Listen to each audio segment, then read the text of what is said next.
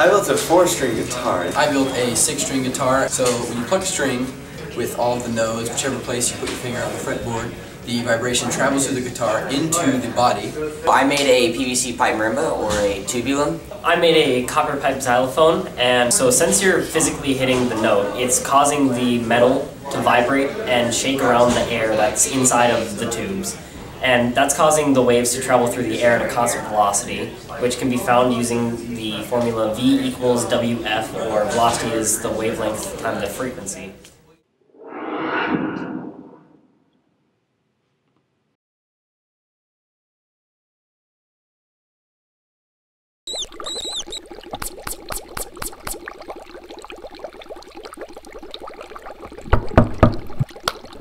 Sir, I'm gonna need you to come with me. Okay.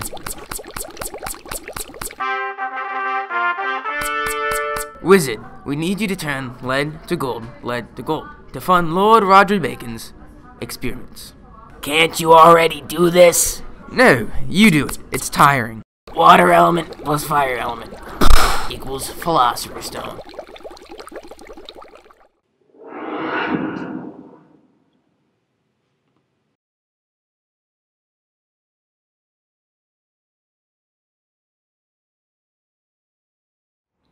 Hi, I'm Brendan Garcia, and I'm representing my pre-cal group for the Poetry Slam Trigonometry Vocabulary Project that we were nominated for in pre-cal, which has been nominated for Best Use of Written or Spoken Word in a Project, as well as Best Use of Math or Science in a Project.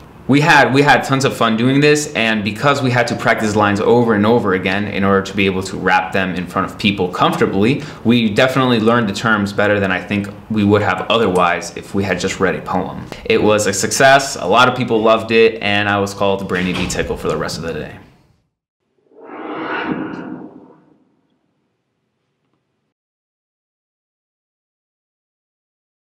A world filled with cheap knockoff mobile games that lack even basic pre-calculus, I set out to create something different. Flappy Emu! Yes, a mobile game in which phone users across the globe guide an emu through a treacherous polynomial equation. But this isn't any old polynomial equation. It's an equation so hideous, I had to have a computer create a best fit line for my original drawing. After a live presentation of the game in May of last year, the game was published to the Google Play Store as a free download, so everybody could enjoy the glorious combination of emus and calculus.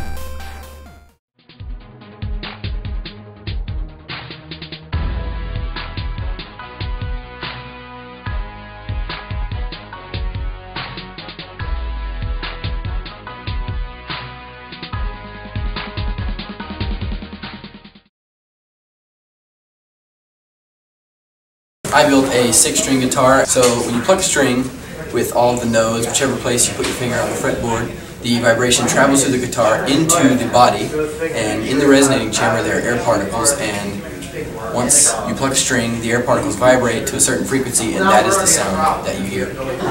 I built a four-string guitar. and The physics behind a guitar is that when you pluck the string, there are nodes at the nut and the bridge, and between that is half a wavelength. When you push your finger on the fretboard in any place, you'll create a node there, creating a shorter wavelength, and thus creating a high, creating a higher sound. So I made a PVC pipe marimba or a tubulum. And the way that it works is you cut the pipes different lengths and depending on how short or long the pipe, how high or low the note is for the instrument. There's a node on either side of the open ends of the pipe and because of this, the node, the wavelengths rather, are twice as long as the actual pipes themselves. I made a copper pipe xylophone, and so since you're physically hitting the note, it's causing the metal to vibrate and shake around the air that's inside of the tubes.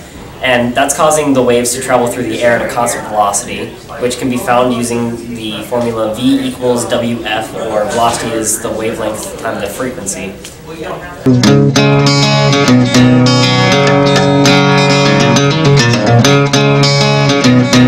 you.